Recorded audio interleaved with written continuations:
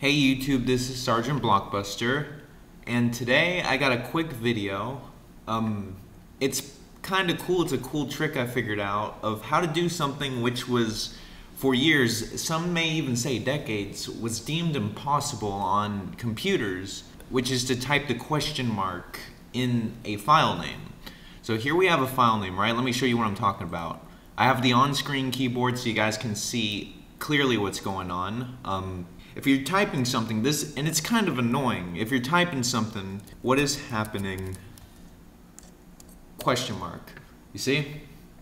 Uh, when you try to type the question mark, it says a file name can't contain any of the following characters, and question mark is one of those characters.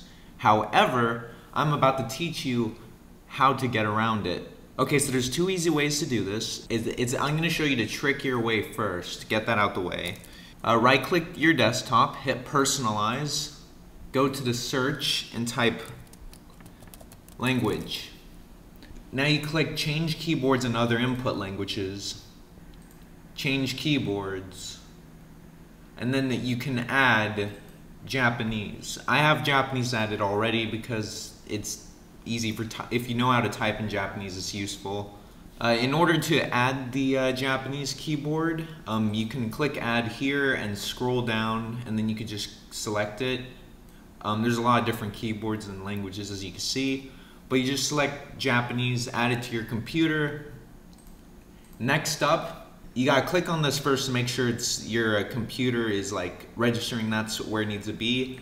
Uh, you'll start off on English like this, but click the EN in the bottom uh, right hand corner of your desktop, switch it to Japanese, and specifically you have to click the input mode and go, and go to full width alphanumeric right here. Click that, and now the moment you've all been waiting for, what people have thought for years to be impossible, shift question mark, bam.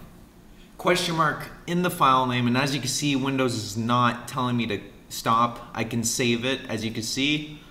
Um, and let's just switch back to the English question mark just to verify.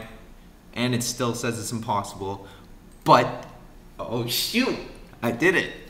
it that's the one, that's the most complicated of the two easy ways, which is to add Japanese to your computer. Um, if you have Japanese already added to your computer, this is going to be a lot easier. The second easy way is what I'm going to try to do in the description of this video, I'm going to copy and paste this question mark. So then just copy and paste it from the description of my video onto your file name. So in that way, you don't have to go through all this. So yeah, there you have it, how to type a question mark in the file name of a Windows file.